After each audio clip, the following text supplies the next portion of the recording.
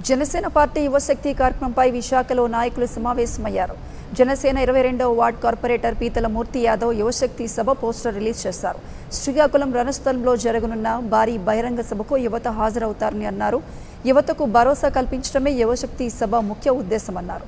మూడు రాజధానుల పేరుతో వేల ఎకరాల భూములు దోచుకుంటున్నారని అన్నారు. ఐటీ మంత్రి ఉన్న విశాఖలో ఐటీ కంపెనీలు తరలి వెళ్తున్నాయని ఎద్దేవా చేశారు.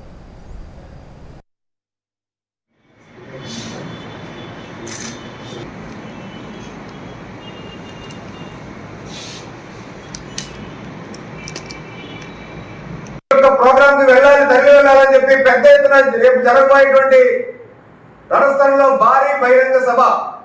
అనేకమైనటువంటి సాంస్కృతిక కార్యక్రమాలు అనేకమైనటువంటి యువతతో మాట్లాడేటువంటి అవకాశం కల్పించి పవన్ కళ్యాణ్ గారు ఏ సమస్య గురించి అయితే గలవెత్తారో పవన్ కళ్యాణ్ గారు ఏ సమస్య గురించి అయితే మాట్లాడతారో ఆ సమస్యకి పరిష్కార వేదికగా రాష్ట్ర ప్రభుత్వం వెంటనే స్పందిస్తా లేకపోతుంటే ఆ పరిష్కారం చేయకుండా నీరు కాచేటువంటి కార్యక్రమం చేస్తుందా అనేటువంటి దాని మీద పూర్తి స్థాయిలో యువతకి అండగా యువతకి బాసలుగా రాష్ట్రంలో రేపు రాబోయే సార్వత్రిక ఎన్నికల్లో జనసేన పార్టీ పవన్ కళ్యాణ్ గారు యువతను దృష్టిలో పెట్టుకొని ఏ విధంగా మనం ముందరికెళ్ళాలనేటువంటి ఒక ఎజెండాను రూపొందించి ఆ రోజు యువత కోసం ఒక కార్యాచరణ రూపొందించేటువంటి బృహత్వమైనటువంటి ఈ యువశక్తి కార్యక్రమాన్ని రాష్ట్ర వ్యాప్తంగా పెద్ద ఎత్తున ప్రచారం చేసే దాంట్లో భాగంగా ఇవాళ మీడియా కమిటీ సమావేశం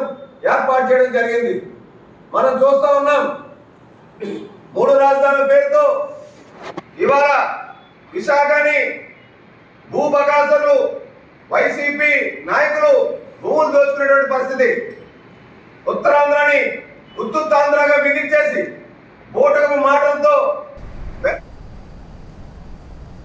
పల్నాడు జిల్లా దాచేపల్లి మండలం పెదగార్లపాడు గ్రామం